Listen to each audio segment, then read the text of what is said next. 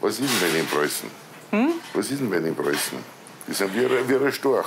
Ja, ich bin ja selbst Preuße. Ja, ich sag das ja, ja wie ein Storch. Eine große Goschen, ein Drang nach Süden und nicht zum Hirn. Okay.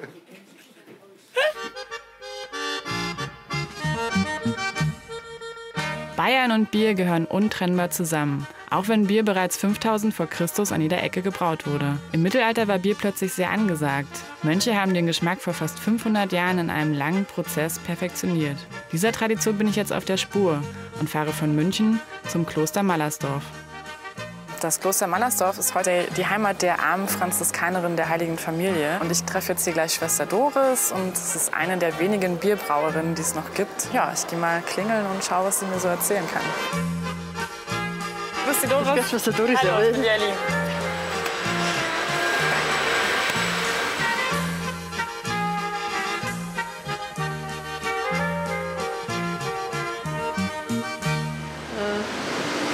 Das äh, war jetzt 14 Hektoliter, also wir machen pro Sud 38 Hektoliter Bier.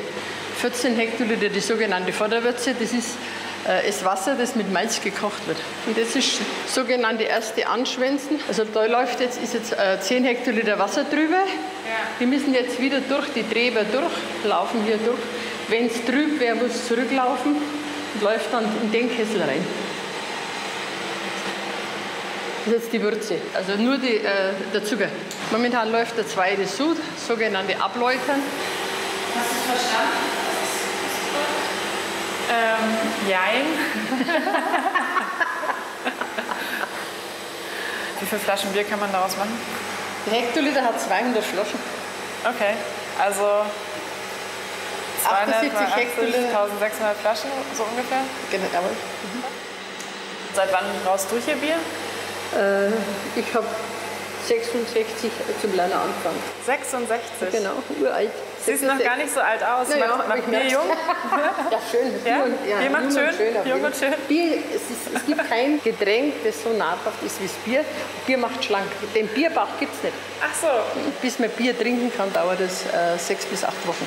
Erstens eine Woche im Gärkeller, sechs Wochen im Lagerkeller. Und dann ist Bier ein verderbliches Nahrungsmittel. Hier leben 500 Schwestern und es gibt zu jeder Mahlzeit Bier außer zum Frühstück. Circa 18 Prozent braucht man selber und der Rest so. wird verkauft. Äh, jeder möchte ein gesundes Nahrungsmittel, das soll aber möglichst drei Jahre haltbar sein, nicht mehr äh, irgendwo umfallen oder sich verändern. Aber dann ist halt im Bier auch nicht mehr viel drin. Ich, also ich behaupte, da kann ich auch Wasser trinken. Das wollen aber die Großbrauereien nicht hören. Und Sie es probieren wollen? Ja, Schmeckt wie Malzbonbon. Bloß halt, das ist ganz schön heiß. ist etwas heiß, ja. Heißes Bier. Na, heiße Würze.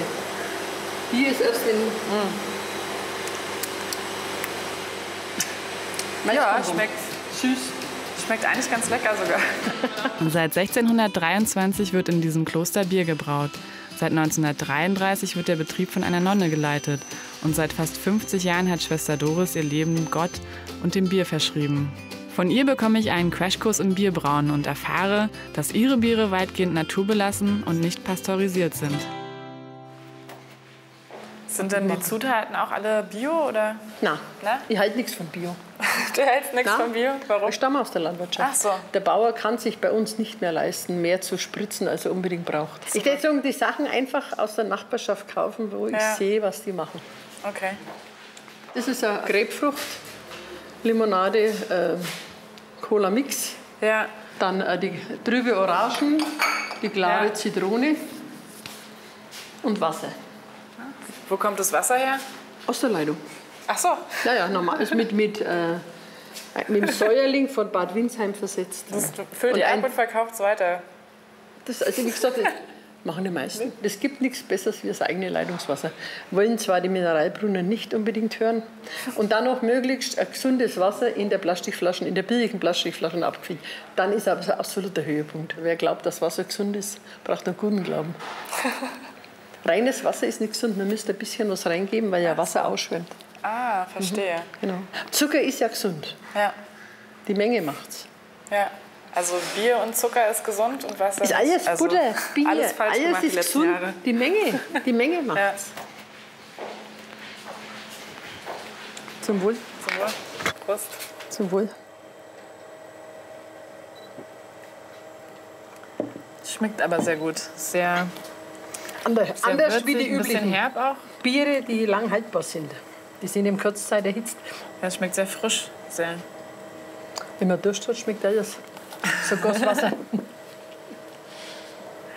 Ähm, Bierbrauen ist ja eigentlich so eine Männerdomäne. Nein, stimmt nicht. Eigentlich ist Bierbrauen Frauensache. Und zwar, ähm, das hat zur Versorgung des Haushalts gehört. Der Begriff äh, oder der Reim, heute backe ich, morgen braue ich, übermorgen hole ich mir der Königin ein Kind, da- deutet darauf hin, dass die Hausfrau das Bier gemacht hat. Unsere jetzigen Kaffeekränzchen sind aus den Bierkränzchen entstanden. Ach, wenn, die, wenn die Hausfrau Bier gebraut hat, hat sie die Nachbarinnen eingeladen zum Bier probieren. Ach, und dann haben sie da Bier Bier getrunken und und scheinbar- gegessen oder Brotzeit eher? Vermut, aber ich, äh, vermutlich haben sie so viel getrunken, dass das irgendwann abgekommen ist. Mhm. Auch daraufhin Prost. Also, auf das du noch lange brauen kannst, oder? Was? Wenn Christus Bayer gewesen wäre, dann hätte er sicher Bier getrunken statt Wein. Ende. Doris, Bier trinken. Imponiert von den unorthodoxen Ansichten von Schwester Doris und gestärkt mit einem köstlichen Bier mache ich mich wieder auf den Rückweg nach München, um einer anderen lang bewährten Tradition der Münchner nachzugehen. Ich bin jetzt hier gleich beim Kaffee Frischhut und mir wurde gesagt, dass man hier so das originalste, traditionellste Gebäck kaufen kann. Richtig schön heiß und fettig. Hallo, die Damen. Was, was kann man denn jetzt hier kaufen beim Kaffee Frischhut? Was gibt's hier dann Spezielles? Ja, ich würde vorschlagen, die ausgezogene. Da sagt man auch noch Schmalznudel dazu. Ein richtiges Dann- Münchner Schmalznudel oder ausgezogene. Ausgezogene. Das ist doch schön. Dann gehe ich jetzt mal da rein und bestelle mir ein paar ausgezogene. Euch doch viel Spaß. Mmh, riecht nach wahnsinnig frischem Gebäck. Mmh, toll.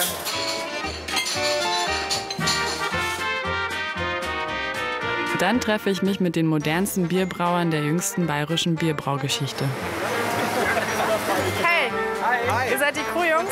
Ja, hi. Hi, ich bin die Eileen. Moin. Wer bist du? Manuel, hi. Manuel. Die Jungs Hi. von Crew Republic wagen es, die Tradition des Bierbrauens auch in München zu modernisieren. Sie brauen ein Craft-Bier, das mit konventionellen Biersorten Bayerns nicht vergleichbar ist. Ja, dann ähm, lass uns doch mal anfangen mit deinem Lieblingsbier. Also mein Lieblingsbier ist äh, in der Tat sogar das ähm, Grüne, Ja. weil das ist auch gleichzeitig mein Geburtstagsbier. Also immer Ach wenn so. bei uns einer äh, einen runden Geburtstag hat, Ja, dann ähm, bekommt er von den anderen Bier. Ja, ich habe halt zum Geburtstag ein Detox geschenkt bekommen. Ne?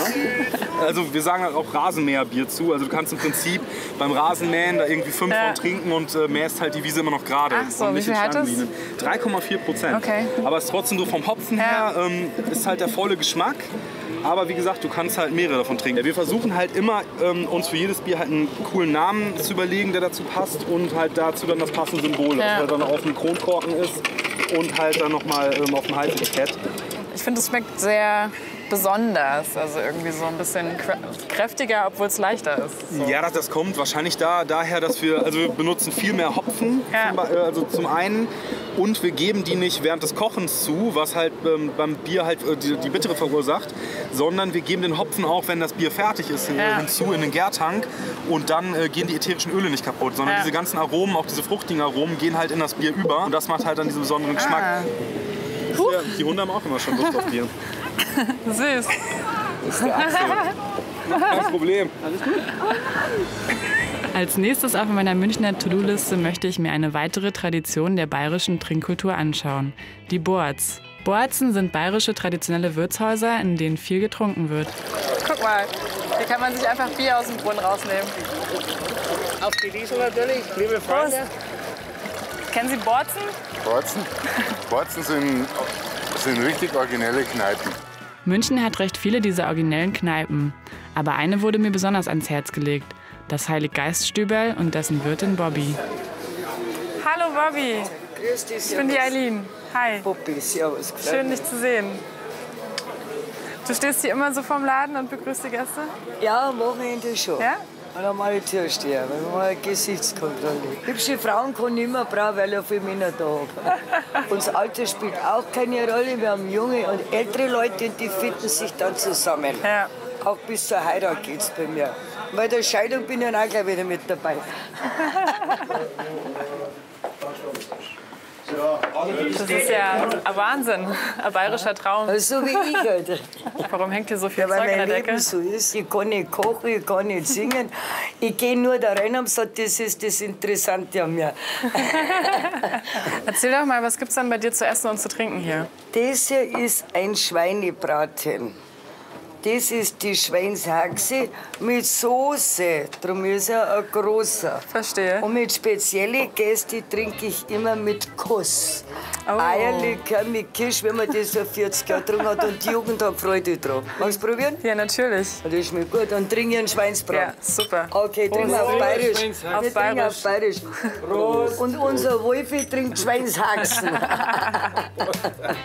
Du brauchst nicht neidisch werden, es schmeckt schon. Oppi, du bist ein Schau. Der Pfarrer Schüssler, der wichtigste Pfarrer hier, der ist ja hier auch Stammgast. Gell? Ach so. Ja, und da war der Bischof hier und der Bischof hat meinen Laden gesegnet, hat mir alles Gute gewünscht.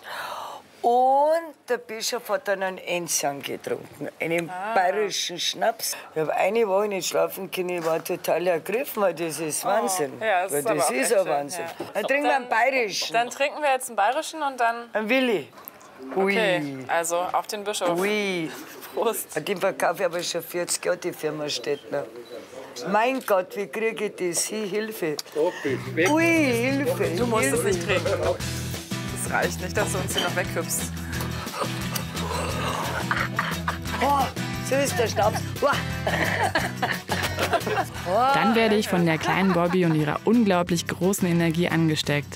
Was für ein besonderer Ort.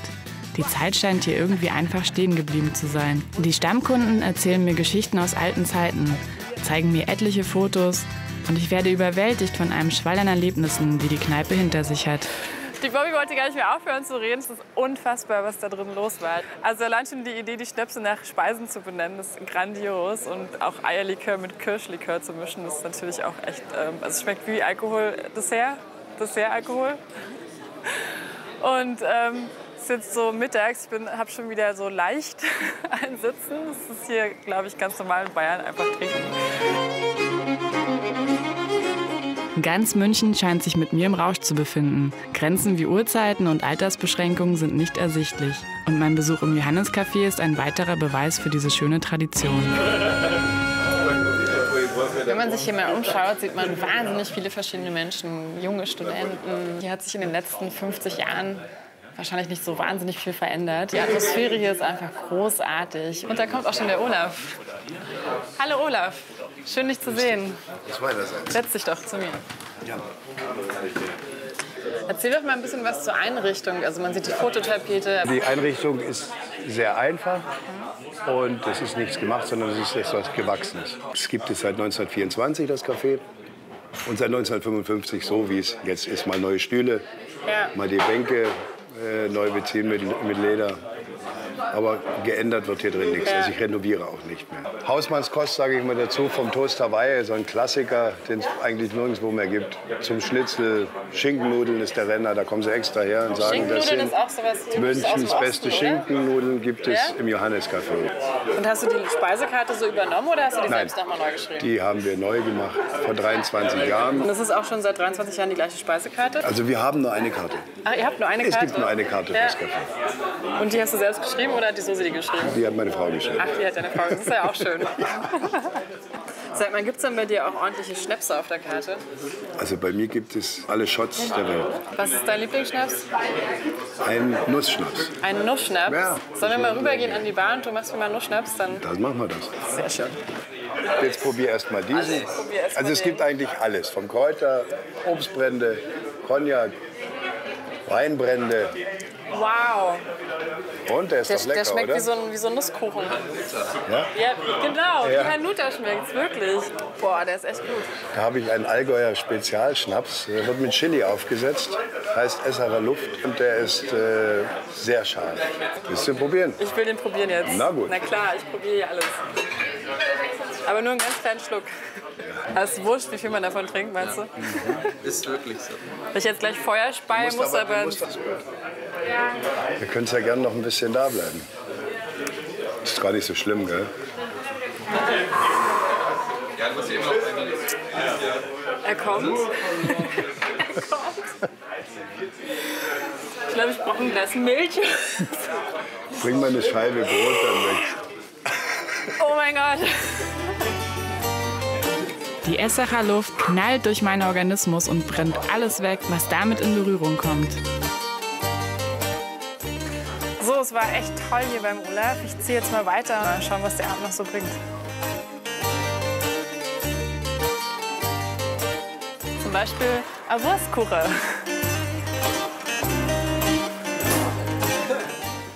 Hallo, du bist der Wirt? Ich bin der Wirt, ja. Hallo, wer bist du denn? Ich bin der Winnie. Der Winnie? Ja. Ich bin die Eileen. Elin, grüß dich.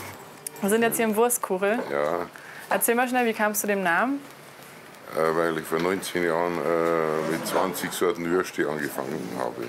Wir verkaufen viel Essen. Was ja. noch außer Wurst? Ich verkaufe jetzt immer mehr Putenschnitzel wie früher, weil die meisten glauben, Putenschnitzel hat weniger Fett, weil so. Putenschnitzel mehr Fett wie Schweine. Wirklich? Ja. Ist so? Ja, es sind bloß ein paar Ja. Prozent mehr, aber die meisten glauben weniger. Was, was trinkst du denn hier, wenn du hier bist? Oder trinkst du gar nichts? Oder? Ich, äh, trinke jeden Tag 20 Kaffee Kaffee und jeden Tag einen Liter Cola. Ich lebe gesund. Christa gibt der Dame unseren besten Schnaps, Was ist denn der beste Schnaps? einen Hausschnaps. Äh, bring die Flasche vor, weil da steht auch Hausschnaps drauf. Ach so. Gell, wir verraten da nichts. Schenk mir auch einen ein, bitte. Da steht Hausschnaps drauf. Ach so. Gell? Kannst du das überhaupt lesen? Das ist bayerisch geschrieben. Ja, ich kann das. Das ist ja klar, natürlich. Ja, so natürlich ist es mit Mittelpreis. Prost. Ja, du sagst schon nicht schlecht. Ja, ich. Ja. Ja. Komm, gib noch eine drauf. Nein, nein, nein, warte. Und was ist das für ein Schnaps? Ähm, was, was Fruchtiges. Ich glaube, Marille. Ja, Sehr genau. gut, sehr gut. Ja, gib noch einen drauf. Ich ich. Ja. Ja, so, Moment, so. Der hat nur 38 Prozent. Wo kriegst du nur 38 Nur, Prozent? nur 38 Prozent. Genau, du kriegst auf der Bank 38 Prozent nur in der Wurstkoche. ja, Dann trinke ich immer noch ein bisschen Schnarrillenmaps, oder? hab mich sehr gefreut. Also, mach's gut. Schönes Bussi. Ciao, ciao. Ciao. Jo. Nach dieser Begegnung der dritten und sehr typischen Art treffe ich mich mit meinem Freund Mixen, der mich zum Abschluss des Abends ins Robinson lotst. Ehemals Borzen, heute einfach nur ein schöner Ort, um meine Eindrücke des Tages bei einem ordentlichen Longdrink Revue passieren zu lassen.